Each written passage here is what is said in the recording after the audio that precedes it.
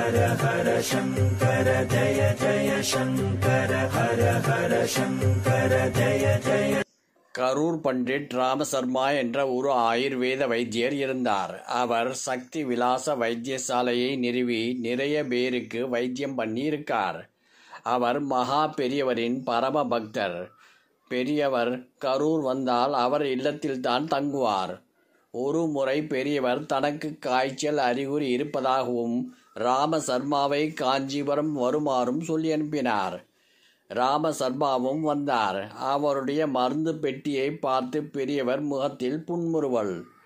பெரியவா உன்னைத்தான் வரச் சொன்னேனே தவிர மருந்து பெட்டியோடு வா என்று சொல்லவில்லையே என்றார். ராமசர்மாவிற்கு பெரியவா என்ன சொல்ல வரார் என்று புரியவில்லை. திகைப்பாக இருந்தது. உங்களுக்கு காய்ச்சல் என்று சொன்னதால் மருந்து பெட்டியோடு வந்தேன் என்றார். உடல் என்றிருந்தால் எப்போதாவது காய்ச்சல் வருவது சகஜம்தான். காய்ச்சலே உடலை குணப்படுத்தத்தானே வருகிறது. அது சரி. நோயை குணப்படுத்த மருந்து எதற்கு?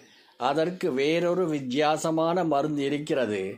அதை பிரயோகம் பண்ணத்தான் உன்னை வர சொன்னேன். ராமசர்மாவுக்கு ஒன்றும் புரியவில்லை. அமைதியாக இருந்தார்.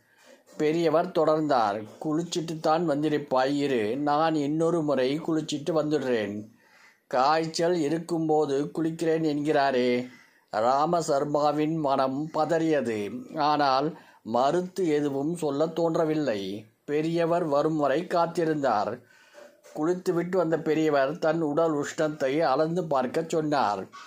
தர்மாமீட்டர் மூலம் பார்த்ததில் காய்ச்சல் இருப்பது உறுதியானது. நல்லது. நாம் இருவரும் இப்பொழுது விஷ்ணு சகசிரநாமம் ஜபிக்கப் போகிறோம் என்றார் பெரியவர்.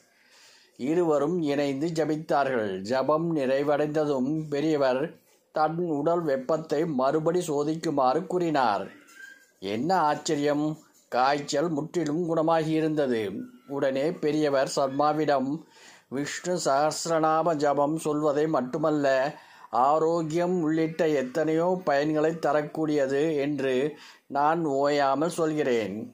ஜனங்களும் கேட்கிறா அவளுக்கு அது உண்மைதான்னு நான் நிரூபித்து காட்ட வேண்டாமோ? அதுக்குத்தான் இந்த சந்தர்ப்பத்தை பயன்படுத்தி கொண்டேன். கடவுள் நாமம் பிறவி பிணியை தீர்க்கும் தமிழ் சொல்றது. பிறவி பிணியை நீக்குமா? பிறவியிலே வர பிணியை நீக்காதா? நோயாளிகளுக்கு நீ வழக்கம் போல் மருந்து கொடு. வியாதி வந்தா மருந்து சாப்பிட வேண்டியதுதான். ஆனால் கூடவே விஷ்ணு சகசிரநாமம் என்ற மருந்தையும் சேர்த்து பயன்படுத்தலாமே. உன்னை தேடி வரவால் கிட்டே நீ எதையும் உன் பிரிஸ்கிரிப்ஷன்லே சேர்த்துக்கலாம் இல்லையா? இதுக்கு உனக்கு நம்பிக்கை வரத்தான் உன்னை வர சொன்னேன். காந்தி இயற்கை வைத்தியத்தை கொண்டாடினார் என்று உனக்கு தெரியும்.